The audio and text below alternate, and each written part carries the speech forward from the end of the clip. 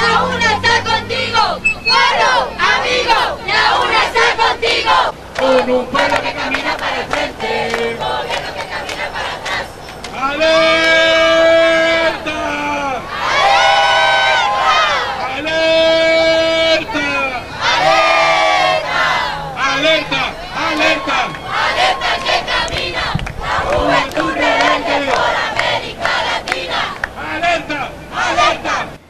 Así se manifestaron los estudiantes de la Universidad Nacional este lunes en Pérez Celedón.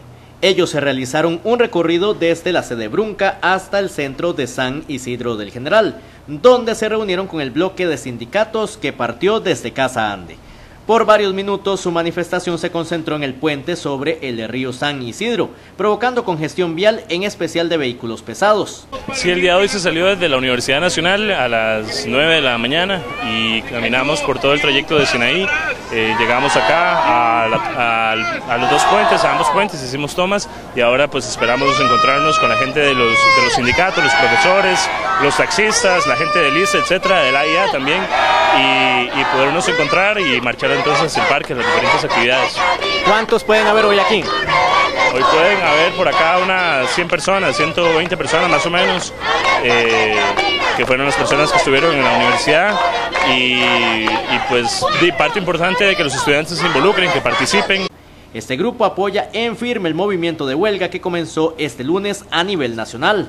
Efectivamente, yo creo que, que no se puede quedar uno en silencio, no se puede callar cuando a vivas luces está sucediendo una injusticia. No es el pueblo, no son los trabajadores públicos, no son los pequeños y medianos empresarios, no es la gente de abajo la que ha causado esta crisis. Todos nosotros pagamos impuestos. Si una empresa pequeña no paga impuestos, la cierran. Si un trabajador público no paga impuestos, no tiene ni siquiera la posibilidad de no hacerlo porque es rebajo automático. Entonces, si aún tocando la reforma del empleo público, aún tocando lo que quieren hacer representa alrededor de un 1.5 del, del PIB, es increíble que no toquen la gran evasión fiscal cuando es un 8%. ¿De quién están de lado las grandes cúpulas partidarias y políticas de este país? Se espera que este martes también exista apoyo por parte de estudiantes de esta casa de estudios.